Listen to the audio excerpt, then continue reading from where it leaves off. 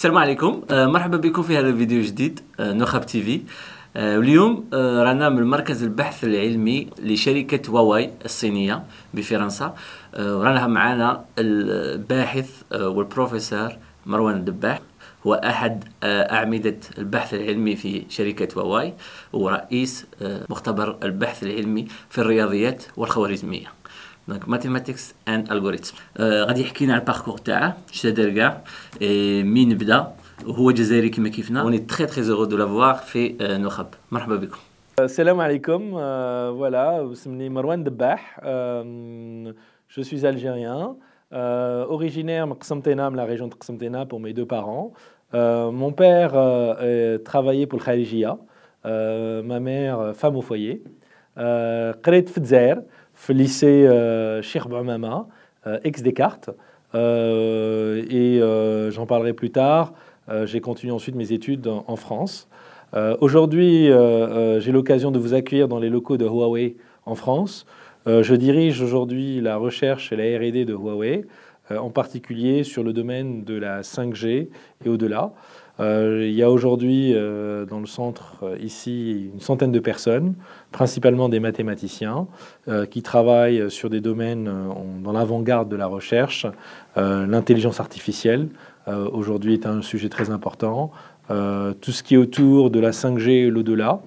Une partie également de tout ce qui concerne l'optique, euh, les réseaux également euh, euh, de transport et également tout ce qu'on appelle le calcul parallèle.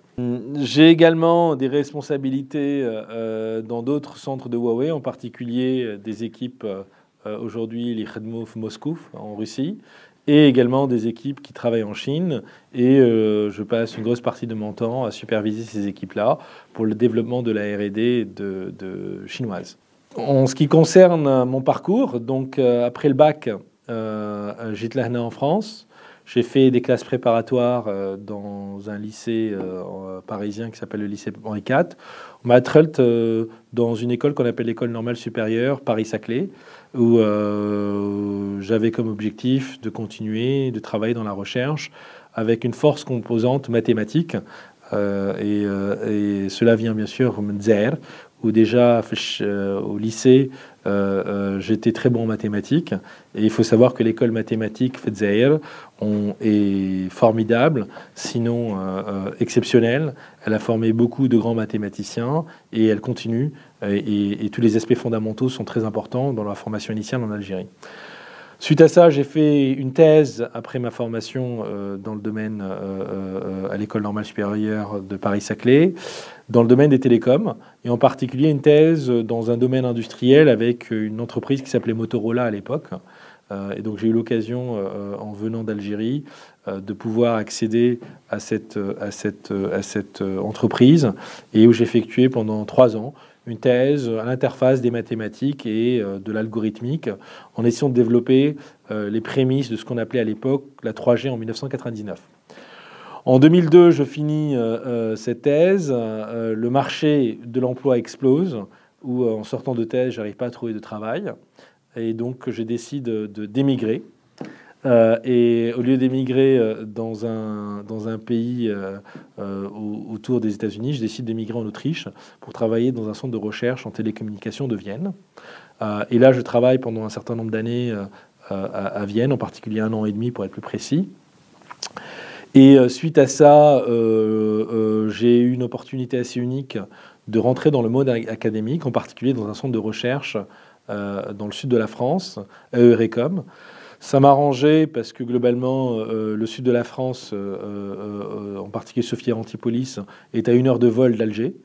Et toute ma famille, mes frères, ma sœur, mes parents sont à Alger. Et donc, ça me permettait effectivement de me rapprocher de, ma famille. Et là, pendant quatre ans, je commence ma vie académique euh, dans le domaine des télécommunications, en particulier dans un domaine qu'on appelle la théorie de l'information. Je commence à recevoir un certain nombre de prix pour mes travaux, euh, et qui me permet effectivement de monter en, galon. Et en 2007, euh, je suis également débauché par Central Supélec dans le cadre d'une chaire d'Alcatel-Lucent pour travailler dans les réseaux 4G. Et je forme une équipe à Central Supélec autour de la 4G de 2007 à 2014. En 2014, Huawei euh, arrive en France. Ils étaient déjà présents en 2003. Mais ils décident d'ouvrir un centre de recherche à Paris et ils décident de, me prendre comme euh, étant le fondateur de ce centre de recherche et aussi de diriger la recherche de Huawei en France. Et donc depuis 2014, je suis euh, directeur de la RD de Huawei et je suis une des personnes qui a eu un impact assez important dans le développement des réseaux qu'on appelle 5G, euh, et qui ont permis effectivement euh, aujourd'hui d'avoir une position de leader pour la société Huawei dans le domaine de la 5G. Depuis ma thèse, ma relation avec l'Algérie a été assez, assez proche puisque depuis, euh, depuis ma thèse, je descends souvent en FZR, en particulier où je donne des interventions dans des écoles comme l'INTIC, l'USTHB et d'autres endroits dans le cadre de séminaires. J'ai participé également beaucoup dans le débat de la transition Tadzer euh, autour du passage 3G, euh, euh, enfin 2G, 3G ou 4G, et qui a eu un certain nombre d'années avec de discussions sur le fait que l'Algérie, est-ce qu'elle devait passer par la 3G ou sauter directement vers la 4G. J'encadre également un certain nombre d'étudiants qui viennent d'Algérie. Donc chaque année, j'essaie d'accepter des étudiants pour venir travailler avec moi, qui viennent de différentes écoles, euh, l'école polytechnique d'Alger, euh, l'USTHB, l'ESI, l'école supérieure en, informatique, avec qui j'ai des collaborations étroites et je co-encadre un certain nombre d'étudiants pour les former sur les différentes disciplines. J'ai également un attachement personnel euh, à Zer, bien sûr, puisque Zer m'a formé.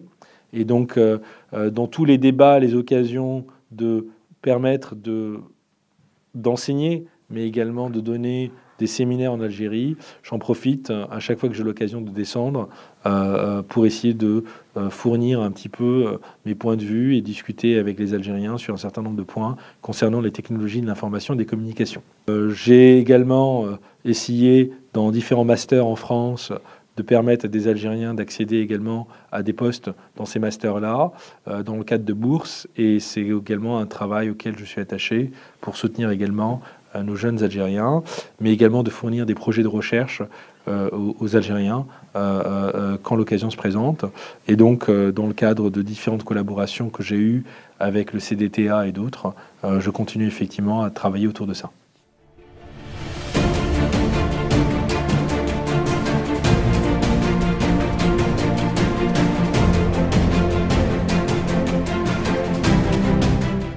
Euh, Hadja qui me tient à cœur, je pense qu'il y a une force très importante, les Algériens, c'est effectivement, en tout cas les Algériens, euh, quand ils partent, euh, ont une rage de réussir. Et je pense qu'on que, a tendance à croire que l'éducation qu'on a eue en Algérie, en particulier aux questions de niveau, n'est pas au bon niveau en France. il se trouve que les éléments de base, qui restent les éléments fondamentaux, en particulier dans le domaine des sciences fondamentales, euh, je pense que les Algériens sous-estiment euh, leur niveau sur ce plan-là. Ce qui manque, bien sûr, c'est toujours les ajouts au-dessus, mais euh, la rage que les Algériens ont en venant à l'étranger est assez exceptionnelle et je l'ai très peu vue par rapport à d'autres nations.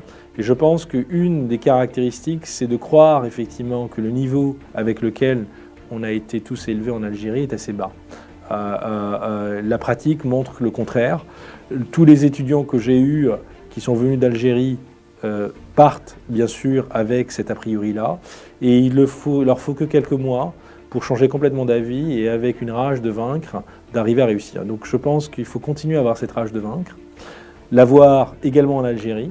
Les conditions en Algérie euh, sont là également pour la réussite et euh, la communauté également euh, qui vit à l'étranger, j'en fais partie, est là pour aider les Algériens et, continuer à leur fournir tous les éléments pour cette réussir. Il n'y a aucune raison que les étudiants qui sont formés dans les grandes écoles algériennes n'arrivent pas à aboutir également en Algérie à développer leurs rêves.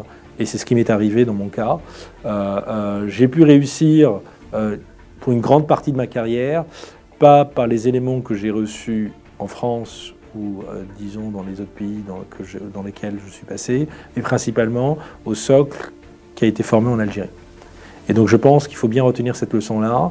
On a un socle très important avec des professeurs qui sont assez exceptionnels, qui nous forment. Et ce socle-là de base nous permet effectivement d'affronter tous les aléas. C'est la première chose. La deuxième chose qui est très importante, j'ai eu l'occasion de voyager beaucoup. On a également une grosse focalisation euh, par rapport aux pays francophones. Il faut également, lors des formations, arriver à découvrir le monde et arriver à récupérer, disons, l'ensemble des expériences, qu'elles viennent des États-Unis, avec euh, leur approche euh, euh, très positive vis-à-vis de l'insuccès ou la défaite, l'approche, disons, européenne sur tout ce qui est en fait sciences fondamentales et le pragmatisme chinois. Et si on arrivait à combiner, ces trois-là, je pense qu'on a tous les éléments d'une réussite.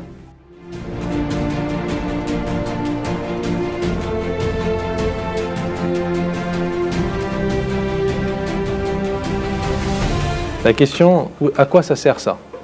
Ça, c'est exceptionnel parce que globalement, c'est pour les hétistes. comme ça de cette façon-là. C'est exceptionnel, je l'ai découvert. Au lieu de te dire sur un mur, un petit coussin, où ça sert à ça. Ou comme ça, c'est le symbole de la réussite. On a eu une équipe qui m'a la belle comme algérienne, qui a fait un résultat fantastique lors des derniers Jeux d'Afrique et a montré son abnégation. Et ça, c'est un exemple, à mon avis, qu'on doit tous prendre.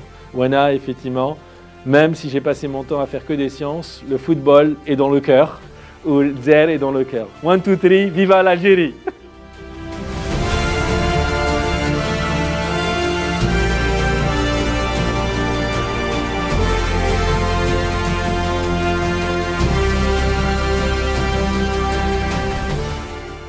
voudrais remercier Nocha pour le boulot formidable. Je trouve que c'est exceptionnel d'arriver en fait à interviewer l'ensemble de, disons, des scientifiques, des entrepreneurs, des leaders algériens qui ont réussi.